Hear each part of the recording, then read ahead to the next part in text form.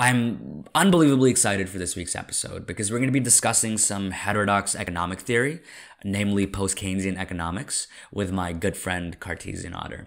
Uh, post Keynesian economics is a school of heterodox economics that builds on the framework provided by John Maynard Keynes, Michael Kalecki, Piero Sraffa, and several other core contributors. Uh, Post Keynesian economics is unified in its approach to properly understanding economics by focusing on the principle of effective demand, the theory of income distribution and value, and a monetized production economy, to name a few of its core tenets. Uh, this episode is probably going to be a very theory dense esoteric musing on economics. Uh, the past episodes have generally been about the history, theory, and policy of social democracy, but this one's going to be a little bit of a deviation from the norm. But still, I hope you guys do enjoy it.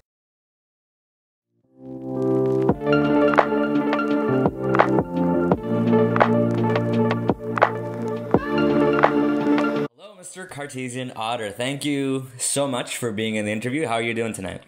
I'm doing fantastic. Like I just ate my dinner today and that has me like all pumped and thrilled for this podcast.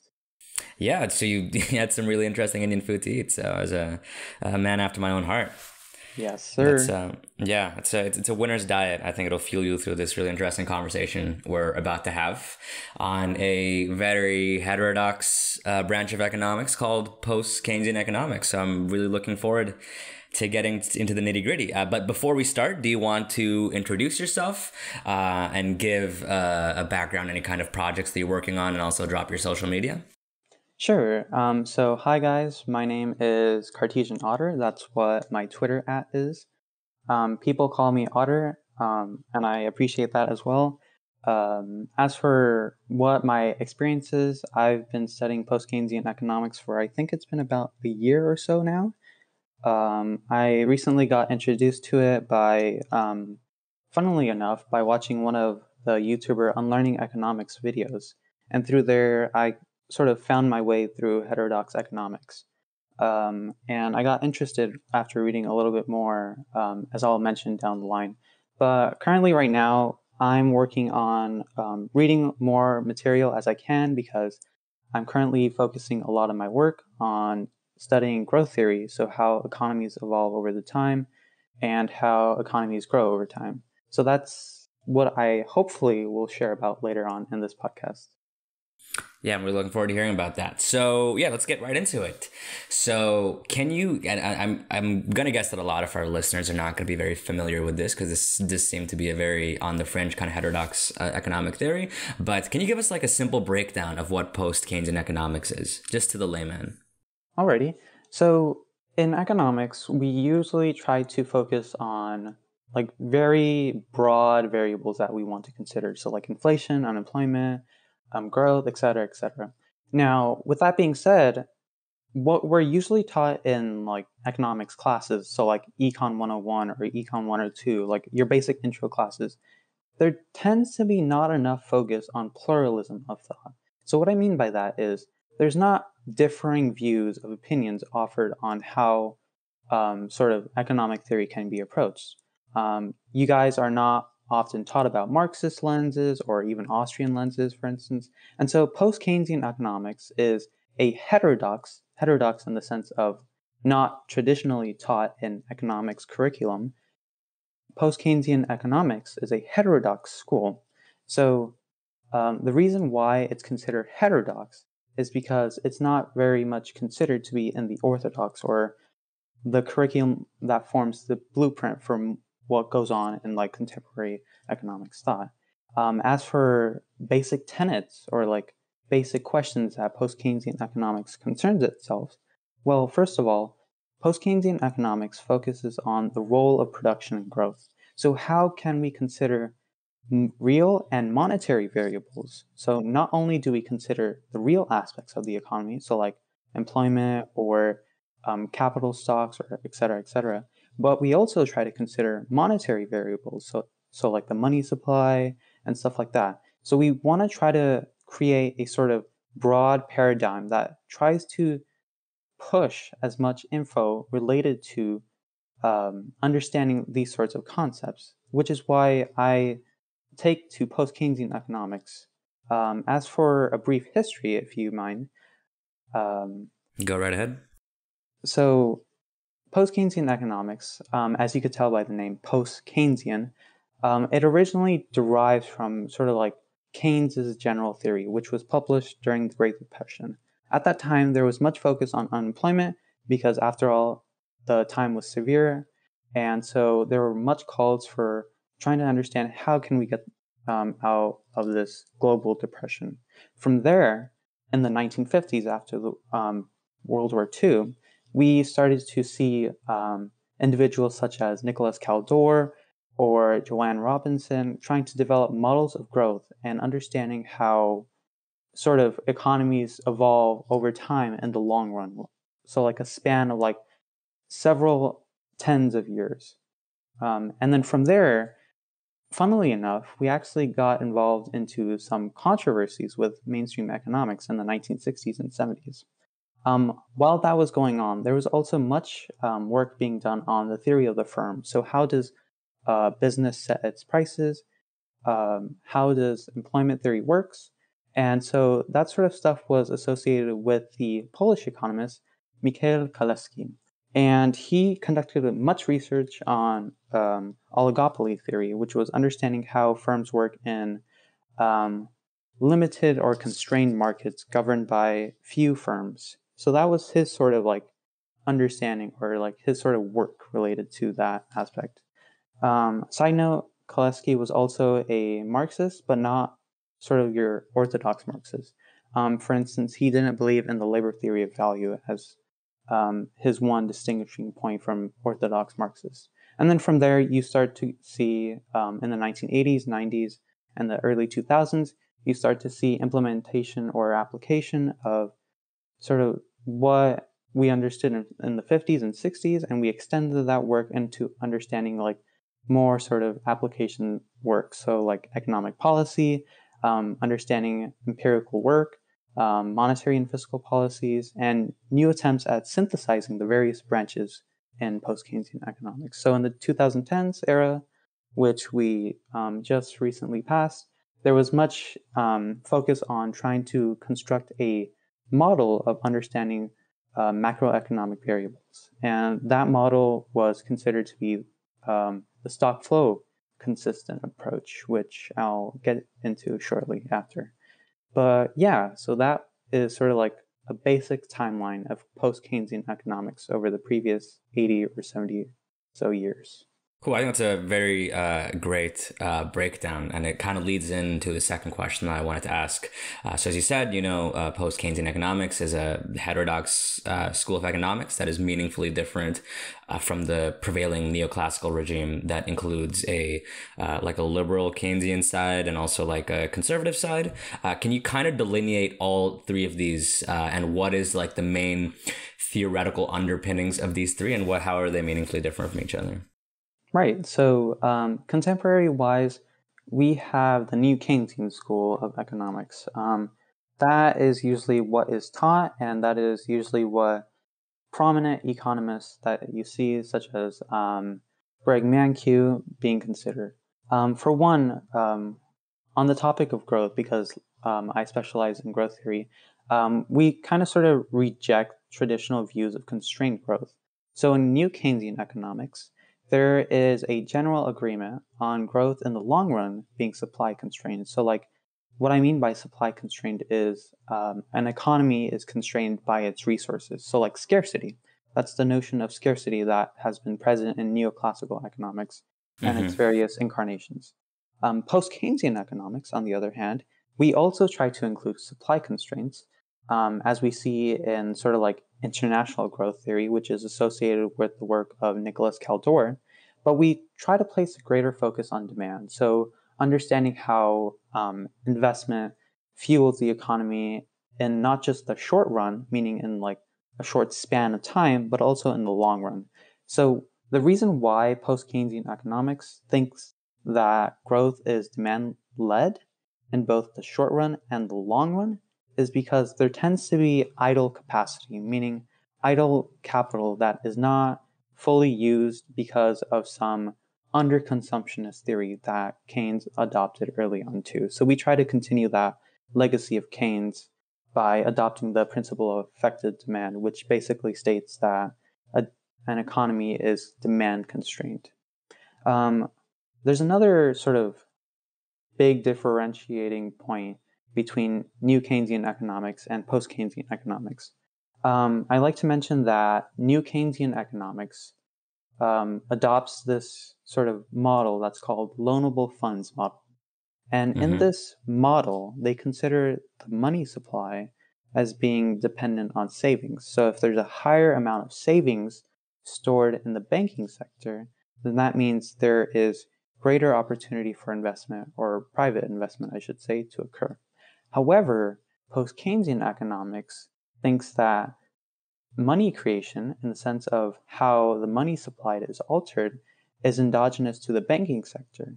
So, what I mean by that is whenever a bank credits a loan to, say, uh, a consumer um, to purchase some goods or either to a business to go on to invest, by extending that loan, what you have is you're creating deposits because by extension of that loan, which is kind of sort of like a, a fund that you need to pay off later on, that mm-hmm. fund goes on to pay for whatever cost or sort of like whatever goods you seek to buy. So, for instance, in everyday life, um, consumers may try to use credit cards.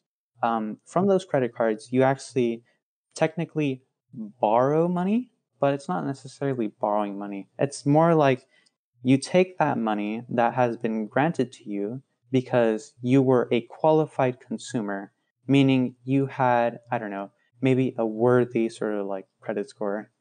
And mm-hmm. you go on to take that credit card to purchase goods. And so you might purchase, I don't know, maybe a drink at Starbucks. That loan of, say, like $5 that you use to purchase that drink goes on to make a deposit in the Starbucks um, deposit account. So what you see is um, the money supply is independent of this quantity of savings. And the fact that the conditions of how money is created is contingent upon real aspects of the economy. So, for instance, in times of recessions, what you see is banks being hesitant to loan or credit accounts because they do not want firms to fail their investments, otherwise, they're making losses on their interest payments. And so, in that sense, inflation is determined not just by monetary phenomena, such as um, like the money supply, but it's also determined by real factors, or um, more appropriately, more appropriately, conflicting claims inflation, which is sort of like it's very much um, similar to what the classicals consider to be the surplus approach, which um, the Sraffian branch of post Keynesian economics focuses on. So, those are sort of like the big two differentiating points out there between new Keynesian economics and post Keynesian economics. Okay, cool. That's a I think that's a that's a apt description. Uh, I think obviously like the kind of conservative neoclassicals are way out of the pale. We're probably talking about you know like Austrian theorists. Mm-hmm. Uh, what, what is what I don't know how much you've read on them, but like what is their kind of main um, offering to the branch of economics or heterodox economics? Like what is their kind of structural underpinning? Well, I haven't, um, to be honest, I haven't looked into much of Austrian economics.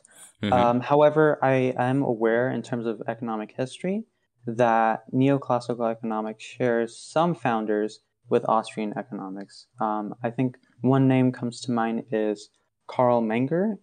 Mm-hmm. Um, apart from that, I have little interest in Austrian economics at the moment. That's fair. That's I think that's a very it's a very fair lack of interest to have. Uh, so anyway, before before this podcast, I wanted to and you've offered me readings before in post Keynesian economics. So over the past couple months, I've done a little bit on my own time of reading. Obviously, not to the level uh, of uh, that of scrutiny that you were at, but uh, I've come up uh, of these as their primary concepts in post Keynesian economics through those readings and also through what you've talked about. Uh, so I think the four that stuck out to me was a that concept of effective demand that you were talking about about earlier. Uh, B, the idea of historical and dynamic time. C, as you mentioned, the theory of income distribution and value. And D, the monetized production economy. Can you kind of go through these four concepts and explain them? I think you can spend a little less time on effective demand since you kind of brought that up in your last answer.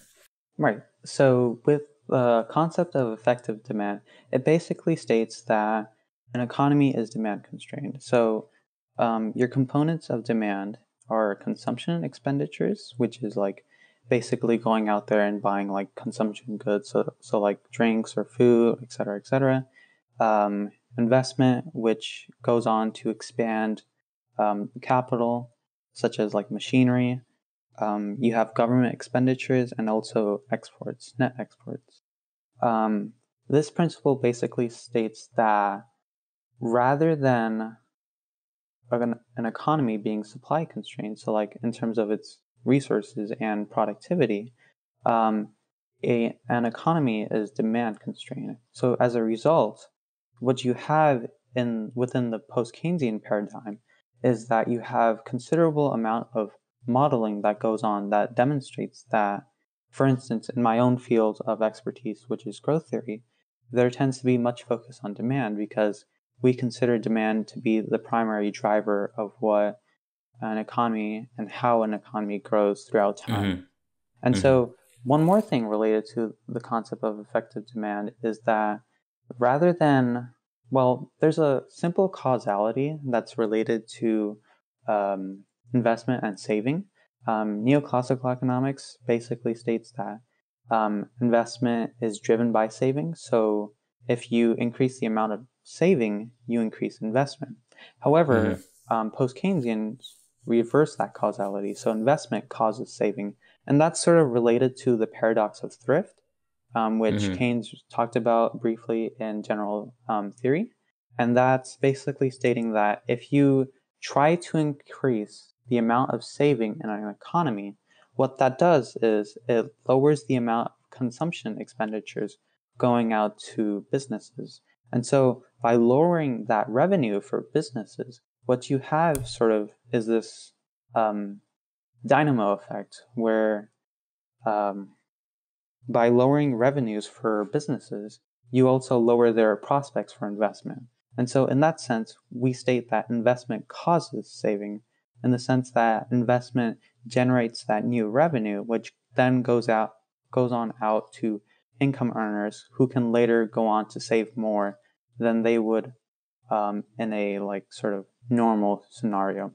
As for mm-hmm. the second principle, which is dynamic or historical time, um, we argue that any sort of considerations of theoretical modeling that goes on in in a long span of time, so like the long run, we argue that that sort of time span, that large sort of time span, is reliant on a series of short period positions. So what goes on in the events in between um, prior to getting to that final position at the end of whatever sort of long time span you have, you need to consider that long position, that long run period is contingent upon what occurs in those short run periods. Mm-hmm. Um, as for the theory, as for the principle of monetized production economy, that's basically um, arguing that we should consider monetary aspects as being um, going in hand with real aspects. So you have scenarios where real aspects can affect monetary aspects. So, for instance, um, during the Great Depression, um, when housing construction fails, um, what you see is banks also failing too. And reason why is some banks were also um, they also made out loans to these um, housing businesses. So what you see is banks trying to increase their interest rates in order to try to maintain their profitability. However, um, because firms, or I should say housing firms, failed, um, some banks also failed, which is why um, the US and other governments had to step in to prevent that sort of stuff from happening. So you see sort of like this dual role of monetary and real aspects, which is why post Keynesians also emphasize the nature of trying to consider both real and monetary aspects of the economy at the same time. Mm-hmm. And there was the uh, what about the theory of income distribution and value? Right. So the theory of income distribution and value. This is sort of like more related to the Sraffian branch of post Keynesian mm-hmm. economics, and that's basically um, taking from consideration of the classical economists. So like Marx, Ricardo, and Smith, and that was um, in their in their approach, the classical's approach. They considered a scenario where an economy is viable because it produces a social surplus, um, aka um, any sort of real product that is positive out of what is needed to for the economy to continue production. So, for instance, if an economy set um, produces 10 units of corn every year, um, and you need six units of corn as seed um, to continue the cycle of production, and two units of corn for workers to um, eat and consume and sort of survive, then you have two left over, which then constitutes the surplus. So, in that sense, um, the post Keynesians also consider um, the theory of income distribution and value deriving from the classical's approach, which is why you see some post Keynesian authors also um, calling post Keynesians as classical Keynesians because they also like to emphasize the nature of classicals and their role for influencing um, the post Keynesian branch, including the Sraffian school or Sraffian mm-hmm. branch. Mm-hmm. Okay, that's a. I think yeah, that's a great breakdown. Thank you for that. Uh, so we we've talked a little bit about these uh, figures. Um, you know, people like Sraffa, Kalecki, uh, and Keynes. So who, who do you think are the you know primary figures in the development of post Keynesian economics, and what do you see as their most important contributions to the the current paradigm and uh, theoretical underpinnings of uh, post Keynesian economics? Right. So with that, there's actually so many figures related to post Keynesian economics. Like we've borrowed so many aspects from like various like minute schools out there that haven't even been heard of. Like at all, like even by some post Keynesians. Um, however, I think there's some major figures out there in terms of post Keynesians history that um, have contributed notable um, works to um, contemporary work related to post Keynesian post Keynesians. Um, one of them, of course, is John Maynard Keynes, and mm-hmm. like some of his concepts have been like emphasized throughout like not just um, growth theory, but also like several other fields, so like monetary, um, microeconomics, et cetera, et cetera. Um, for that, I think he brought up like several paradoxes, um, one of which I mentioned briefly earlier, which was mm-hmm. the paradox of thrift. Yeah. Um, he also discussed um, the theory of effective demand and fundamental uncertainty as well. Mm-hmm. Another author that you have is Michael Kalecki, and mm-hmm. he worked a lot on oligopoly theory um, with one of his auth- um, co-authors, which was Josef Steindl, if I'm pr- pronouncing his name correctly. Mm-hmm. And mm-hmm. um, with those two, they contributed a lot to um, the post-Keynesian understanding of oligopoly theory, how firms um, operate, and the pricing behavior of firms. Um, and funnily enough, Michael Kalecki and some of his work was later demonstrated to contribute to Kaleckian growth theory. Um, in fact, there have been contributions of Kalecki and Steindl um, that have been emphasized in Kaleckian growth theory, such as um, the utilization rate of capital, which is basically what percentage of the capital stock is used in um, production. Um, as for some other authors, um, of course, there's Piero Sraffa, who revived um, the classical approach. Um, there are also other like less mentioned names such as um, Philip Andrews or Gardner Means that have also contributed to pricing.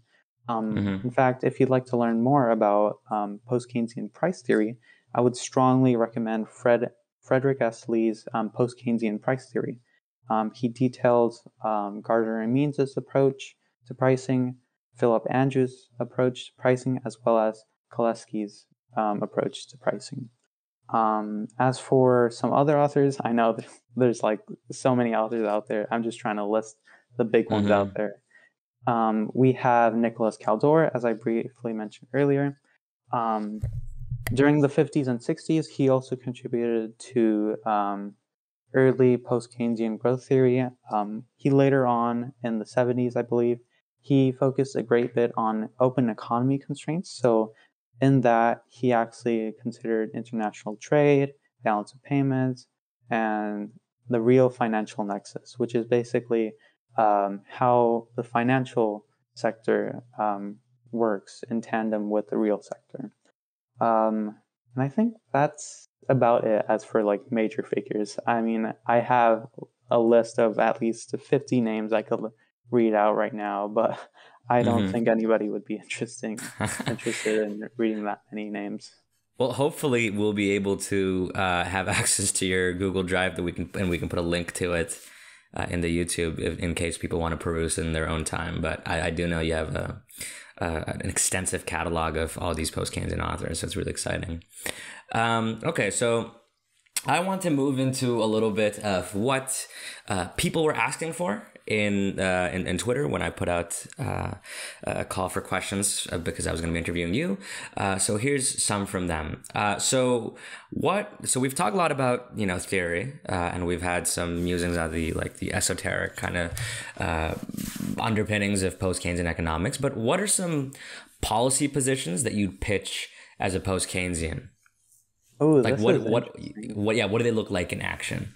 Interesting. Okay, so prior to reading this sort of like a little bit of a tangent but prior to actually me getting into growth theory i actually did some readings about like labor market theory and mm-hmm. within labor market theory i um, learned about several concepts related to um, how the labor market works as well as how economies grow of course because those two are in tandem um, one of which is demand regimes. And demand regimes basically refers to the nature of demand. So if demand is wage led, we say that the regime or the nation being considered is um, going to stimulate more of its GDP or growth by shifting more of the income distribution towards the wage share. So that's the instance in the Nordic countries, so like Sweden, Norway, and Finland, um, they have strongly wage led demand regimes. And the reason why is because there is centralized wage bargaining, there are active labor market interventions. So, like you have unemployment insurance, um, you also have manpower policies. Um, actually, fun fact about manpower policies um, back during the 80s, there was a book published by um, some post Keynesians and um, labor market organized, sorry, not labor market, labor union organizations um, from Nordic countries. And in that book, there's a chapter actually written by um, Rudolf Meidner, and he actually talked about the role of manpower policies. It's a phenomenal book that I would recommend. It's called Barriers to Full Employment. Mm-hmm. Um, as for like going into like labor market policies, I would say centralized wage bargaining is one mm-hmm. of the mm-hmm. big topics that or big policies that um, post Keynesians would like to see implemented because that would help to increase the bargaining power of workers as well as mitigating inflation because there is a possibility of wage price spirals occurring because as wages um, as bargaining for wages continues to rise excessively um, then you could see like sort of price inflation. And so with centralized wage bargaining, you could actually combat two problems, which is one, stagnation of workers' incomes, and 2 mm-hmm. combating um, wage price inflation. Um, as for other policies, I've um, read a little bit about social wealth funds. I think mm-hmm. there has been an economist related to um, understanding social wealth funds as um, stimulating public investment because Keynes himself also suggested the notion of um, socialization of investment, which isn't necessarily socialism, as he was cautious to word it that way, but it's mm-hmm. it's technically public investment on the part of the public entity, which is the government, um, in order to stimulate um, investment. Um, as for other policies, um, I have heard of a job guarantee, but that is more closer to the MMT Mhm. um, MMT views of, or yeah, so MMT views. which Um, which we'll be getting into. Yeah, um, a, a lot of uh, people on uh, you know our side uh, of this project are uh, pretty vehemently against uh, kind of jobs guarantees, but uh, I, I think we're gonna get into that in uh, the question after this one. Um, but yeah, on to the next question. Uh, what are some of the main critiques of post Keynesian economics, and um, what are your responses to them? Um, that's actually pretty funny because I haven't heard any major critiques of PKE because um, um, then again, you also have sort of like lack of engagement um, both on an academic scale and on sort of like a reader wise scale, like in the sense of people actually being interested in post Keynesian economics. But I've heard one critique of post Keynesian economics as being irrelevant or sort of like being based off of some old um, figures that have already passed away, and it's best to adopt a better lens. Well, I wouldn't necessarily say that it's good to adopt a better lens because, in fact, our world is suffering from many problems, and I think it is more advantageous to not just um, the pref- the profession as a whole, um, but also advantageous to people of the world that we also adopt diversity of thought, which I Mhm. think should be stressed in all professions or all academic studies, whether Mhm. you're an economics major or not. Um, I think that in itself, diversity of thought, is a major reason why we should try to s- try and strive to include more post Keynesian talk about economics, as they have offered numerous contributions, as well as even getting involved into controversies with um, the broader mainstream or orthodox um, economics. Okay. That's that's a good answer. Okay, so now now now for the one that you've been waiting for. Uh, what what are your thoughts on modern monetary theory? Because within our circles, there seems to be a kind of split amongst people that do seem to be in favor of it and those that are against. Uh, I know this is a contentious topic for people that you think you're very ideologically aligned with, but some seem to uh, kind of poo poo it away. But you you you I assume are a supporter of MMT. So what what are- what are your thoughts on MMT? Well, I haven't really focused a lot on like MMT policy positions wise. Um, I know there's been a lot of rhetoric involved involved with MMT. Um, one of which is, of course, taxes don't fund spending, and one could probably infer from that that oh, you should try to cut taxes um, because if spending does not rely on taxes, then what's the point of increasing taxes? Um, thing is with that um, MMTers, I, I've talked briefly with them about this. I may be misconstruing things. I may be misremem- misremembering things about this. So I would proceed with a word of advice. Um, don't take my words seriously about MMT because I Mhm. myself have not engaged too much with MMT. Um, as for theoreticals, um, I've heard numerous contributions of MMT, um, specifically MMT figures like Randall Wray, with Mhm. regards to monetary um, theory. He has also contributed a lot to, um, I believe, some macroeconomics textbooks too. So I generally have like a neutral stance towards MMT. I know it's like a more vocal um, opinion that's out there, especially now because we have even politicians such as AOC um, suggesting that we should bring MMT onto the table to discuss. Um, as much as I know, I'm I'm sort of like ambivalent towards MMT because I haven't really studied too in depth into MMT to make any sort of strong comments on that. Um, I will say that MMT is really close to post Keynesian economics, especially on like the monetary aspects too, like the monetary theory. So um, if and then again, I'm not too familiar with monetary theory either, so I Mhm. have sort of like no strong um, comments to be made on MMT at the moment. Yeah, I, I, mean, so I think if I could distill how I think people like, you know, you've talked with David Sliger about this a little bit. You guys have had a little, uh, you know, back and forth on this, but I think what I specifically look at with regards to MMT is that I, I do think it's a useful tool to wield when we're saying that, hey, you like, you know, there's no need to uh, deficit fearmonger as much as we do. It's okay to run federal deficits, which seems to be one of the kind of main pitches of um, uh, MMT. But I find that it kind of falls a little bit short when it comes to the taxation side because everybody on this side is very like pro uh, broad based taxation. Uh, so we feel like it's harder to sell the argument for kind of increased uh, taxation because it's a way of building kind of a more broad class solidarity. And we think it's like a little bit harder to get uh, done uh, if you if you just say, hey, like you know, taxes are kind of pointless because it's just all done on the spending side. The taxes are just a way to suck money out of the economy when inflation is high and then kind of destroy it. The government doesn't really need to do it. So I, we we think it's like a little bit harder uh, to to sell the kind of tax system that we'd like to see as social democrats or democratic socialists, and and the kind of lineage that you do see in Nordic countries with how broad uh, and high their tax rates are. So I think that's that's where we generally come from. And also i think the job i think jobs guarantee is also one of the things that's been uh, you know kind of embedded into you know the mainstream kind of ideological mmt uh, that's something that uh, people on uh, our side are a little bit uh, hesitant of.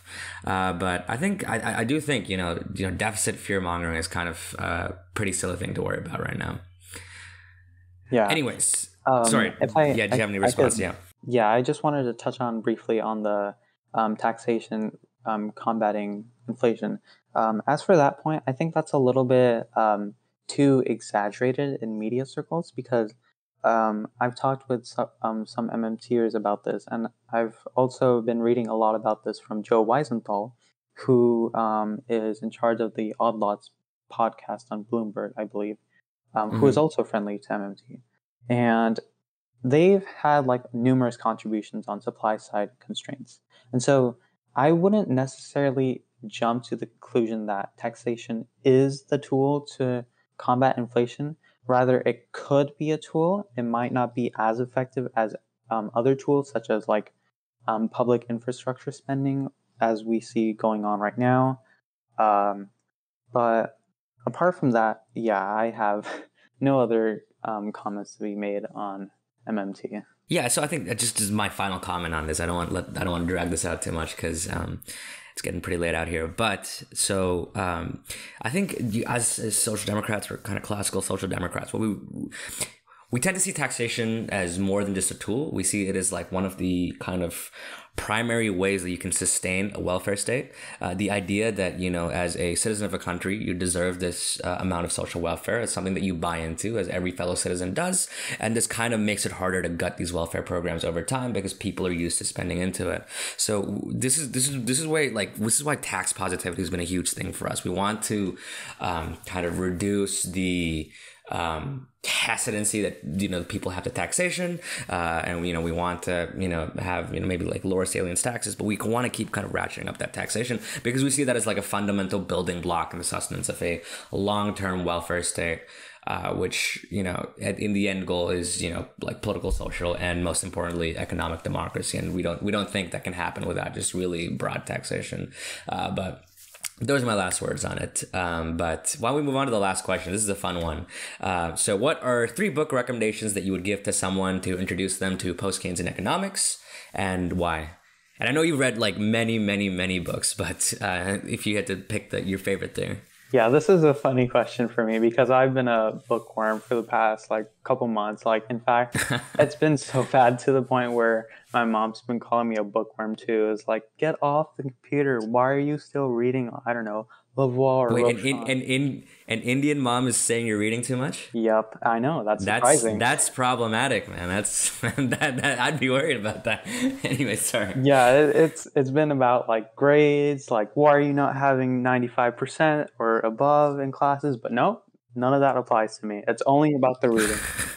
but yeah, um, as for book recommendations, um, the first book I would say is Marc Lavoie's um, Introduction to Post Keynesian Economics. Um, I say this mm-hmm. in mind, knowing that it might be a little bit simplified for those people that are interested in more in depth or in depth material or have already had some experience in economics, but I generally recommend Lavoie's Introduction to Post Keynesian Economics because one, it's pretty short. Mm-hmm. I think it's about 150 pages long. And two, I also have accompanying um, notes for it, which hopefully will be linked in the description, um, which is which is part of my um, broad library um, library esque folder. But yeah, I would generally recommend intro to introduction to post Keynesian economics because it touches a little bit more on the um, tenets um, regarding post Keynesian economics, and it briefly goes on goes over pricing as well as growth theory, which I was very fond of since the start of reading that book. Um, as for the second book, um, I would say that um, Marc Lavoie's New Foundations, Post Keynesian Economics. You see a sort of trend going mm-hmm. on with the titles. But um, I would generally recommend that book because that's a little bit more broader in terms of um, it covers more aspects related to post Keynesian economics. It goes over monetary theory, it goes over inflation theory, um, it goes over growth theory. In fact, you have so many functions in growth theory that you might as well just take notes for those too. Um, but that's a really more in depth, broad um, material that I would generally recommend for readers to go into right after they have finished um, Marc Lavoie's shorter book, um, Introduction to Post Keynesian Economics. Um, as for the third book, um, this is a little bit like undecisive on my part because after mm-hmm. you finish new foundations, you could jump about um, in whichever theory of post Keynesian economics you'd like to go into. Um, me personally, I started immediately in macro modeling. Don't do that. I had to read 600 pages um, of monetary theory, and I had to take about 150 pages of notes just for that book. It was Jeez. intense. I strongly advise against that. However, um, if mm-hmm. you'd like to get into a little bit more history regarding post Keynesian economics, because Lavoie might not cover as much about history, I would generally recommend um, Geoffrey Harcourt's Structure of Post Keynesian Economics, the core contributions of the pioneers. Um, it mm-hmm. sort of solidifies what you've already learned from Lavoie's New Foundations, as well as from Lavoie's Introduction to Post Keynesian Economics, but it goes into more sort of broad based um, um, terms. So, like, you have more mentions of the classical economists, so like Ricardo um, and Marx, and you also have sort of like more contrast with the mainstream views. So, like, it goes in depth. I know a little bit about um, the neoclassical growth theory, which he goes over too. Um, and I would generally recommend that as the third book. But from there, you could go about in whichever books you'd like. Um, there are several theories that you might get into monetary growth, um, microeconomics, pricing. I generally recommend you guys to go to the Post Keynesian Economic Society reading list, which will which should also be in the link in this podcast when mm-hmm. it goes up too. And that has a more detailed approach towards a reading list or like a more um, detailed um, detailed um, material list because it includes articles, it includes books, it includes chapters from books, and I strongly recommend that um, list because I also started from that list too, and it's a really good list for anybody that's interested in post Keynesian economics. All right, perfect. Thank you. That's all the questions I had for you today. Do you have any, uh, any for me? Do you have any uh, closing remarks? Any closing comments? Um, yeah. So I'd like to give a shout out to my post Keynesian economics Discord server, um, which will which should mm-hmm. also be in the link in, in the podcast when it goes up. Um, Absolutely. We, the moderation team, and I are currently setting up a book club, which um, we're undecisive between Lavoie's New Foundations or Harcourt's Structure of Post Keynesian Economics. But we're deciding on an introductory book, and we'll also be doing presentations on those books. So um, if you are going to join the book club, please do make sure to join the book club because It's going to be an in depth review of what you already read, and it's also from like more experienced people, such as myself and um, some members of the moderation team. Um, we also got some content rolling out too. Um, I'm personally starting some presentations. Um, I'm trying to get some equipment to start video lectures about um, simple concepts related to post Keynesian economics. We also have um, a lot of professional economists there too. So we have Nathan Tankus, we have, I believe, um, Unlearning Economics. We also have some post Keynesian economics too. Um, so I strongly recommend you guys to go join the post Keynesian Discord server. Um, another thing is make sure to check out my post Keynesian economics reading material, which should be in my folder. That is grouped according to whichever topics of interest you are interested in. So if you're interested in Kaleckian economics, which is a branch in post Keynesian economics, I have a folder for that. If you are even interested in monetary economics, I have that too. I have pretty much everything that's related to basic or intermediate post Keynesian economics. All right, perfect. We'll have all of these linked below. Uh, I would recommend any listeners who are interested in post Keynesian economics or even learning about what you know heterodox economics can look like, even if you're not fully invested in post Keynesian economics. I would reckon I would recommend that you go follow Cartesian Otter. I recommend joining the Discord or at least perusing some of the things that he's written about on his Google Drive. And if I recall correctly, you have a blog also. Yes, sir. I have a blog that currently goes over growth theory it's titled Inquiries of Macrodynamics, which I'll also be linked into um, the bio of this podcast too. Okay. All right. Perfect. So thank you so much, uh, Otter, Mr. Otter Baji, for coming on to the interview tonight. This was a real pleasure. Uh, thank you for taking time out of your day to do that. Thank you for inviting me here.